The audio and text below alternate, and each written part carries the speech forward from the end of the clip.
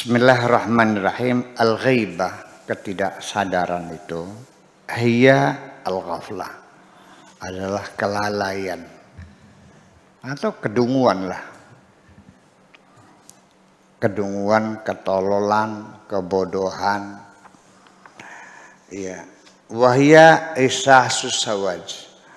Yaitu ketika seseorang merasa dirinya diliput dalam kegelapan. Serba hitam, serba gelap semuanya.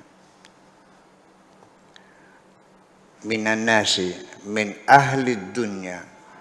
Ya, siapa pun manusia yang mencintai, yang terlalu ambisius, yang terlalu sangat mencintai dunia ini, itulah mereka yang lalai itu. Wahya antantura ila syai' fidatihi. Yaitu sebetulnya kamu melihat sesuatu itu ada zatnya, ada dirinya, kita melihat ini spidol, melihat ini HP, melihat ini mikrofon, ini melihat. Semuanya seperti itu buat tatakhattafka al-asya. Tetapi engkau tercabik-cabik. Ya, engkau terbelah-belah, engkau disambar sini, ditarik sini oleh yang lain-lainnya. Artinya melihat mah melihat, tapi tidak terkonsentrasi. Ya, semua terlewatkan begitu saja itu namanya al-ghaibah. Bukan tidak melihat, melihat tapi tidak terkonsentrasi. Saya ingin ngasih contoh saja kepada Pak Afkar. Pernah nggak ke Masjid Istiqlal? Pernah. Berapa kali? Lima kali. Undag-undagannya ada berapa?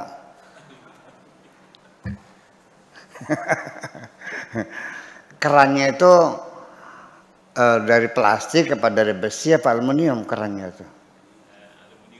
Aluminium. Ada berapa kerannya buat wudhunya? Ya, kita melihat tapi tidak tidak menghayatinya, tidak terkonsentrasi, tidak memperhatikan. Ya lewat gitu aja. Siapa yang lewat juga nggak tahu, pokoknya ada orang lewat aja gitu. Ya kenapa demikian? Karena apa namanya konsentrasi kita terbelah, terbagi-bagi, disambar oleh ini, disambar oleh ini, banyak masalah. Sehingga itulah yang menyebabkan kita tidak fokus. Dalam bahasa sekarang namanya gagal, gagal fokus. Jadi kalau gitu adalah namanya apa sih gaibah itu gagal fokus lah gitu. Iya, ya kenapa gagal? Ya karena dia memikirkan yang lain. Karena dia terlalu mencintai dunia ini sehingga yang yang kita lihat itu terlupakan semuanya. Orang mulia, orang soleh yang nggak kelihatan. Ya, yang kau lihat adalah dunia saja. Ilmu pengetahuan, pengalaman, akhlak mulia, pengorbanan, patriotisme, kepahlawanan semuanya. Kamu fokus melihat dunia saja itu karena perhatian kita terlalu mencintai dunia min ahli dunia. Kullun minha yata'uka semuanya itu memanggil kamu ila zatihi kepada zatmu. Artinya sehari-hari kita berjalan mungkin dari rumah blok moncol Pak Afkar ke sini naik motor naik mobil. Nyeberang jalan ya tahu ada mobil ya berhenti sebentar iya ada becak eh, itu juga menghindar iya. Tetapi semuanya itu nggak ada yang diperhatikan. Apa? Pikiran kita satu mikirin utang yang belum lunas. Yang kedua ini guru-guru nuntut THR berapa THR-nya tambah lagi anak ini lagi diparen nih bagaimana selanjutnya Allah macam biaya lagi. Ya, ada, ada lagi istrinya mau dimutasi lagi. Jadi tercabik-cabik konsentrasi kita tidak bisa fokus.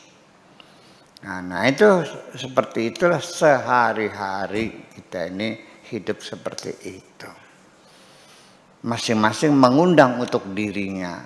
Artinya kata istrinya, bang tolongin saya dong, mas saya masih mau dimutasi ke tempat yang jauh. Saya kan perempuan, pulang sore gimana lagi. Nah, THR-nya juga guru-guru aja terus ngebel, Pak Afkar gimana Pak ini THR-nya ini berapa udah kapan dibagikan? Ini kan sudah tanggal 25. Anaknya apa-apa, belanja udah habis. Bayangkan sehari-hari pikiran kita tersabik-sabik seperti itu. Itu yang dimaksudkan kullun minha yad'u ila datihi. Ya, memanggil itu begitu artinya menarik perhatian kita fatatawazzau bainaha sehingga pikiranmu terbagi-bagi mikirin anak, mikirin istri, mikirin guru-guru, mikirin uh, kreditan mobil belum lunas, mestinya tujuh bulan lagi, motor juga sama saja. Itu tatawazzau bainaha wa tatashattatu dan terbelah-belah bercerai-berai pikiranmu Sehingga sering kali saya ketika menghadapi orang yang sedang pikirannya kacau balau begitu, kita ngobrol berjam-jam. Saya nanya, paham nggak apa? Apa? Jadi selama saya ngomong dia kan tidak mendengarkan jalan sendiri. Kamu juga begitu sering, sering nggak? Udah ngomong capek-capek, mulut berbusa-busa. Gimana? Oke, paham nggak? Apa? Cih, apa lagi? Selama ini kamu mendengarkan enggak? Mendengarkan tapi nggak masuk telinga. Ya mendengarnya suaranya aja. Kenapa? Karena pikiranmu sedang tersabit-sabit semacam itu. Itu termasuk halat ghaibah. Jadi kayak orang lagi apa pingsan gitu. Orang pingsan setengah tidur setengah melek. Oke. Okay.